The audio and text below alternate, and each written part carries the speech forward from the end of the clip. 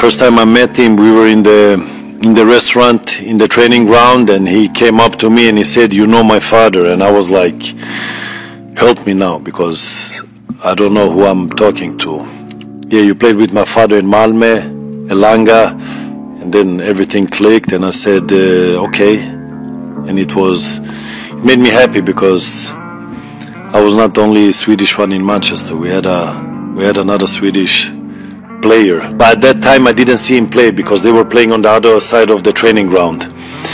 But then he, played with the national team under 21, and that is when I saw him for the first time. We're all happy and uh, we're enjoying the the adventure he he's he's on. He just started, so I'm in the end. He's on the way up, so it's good.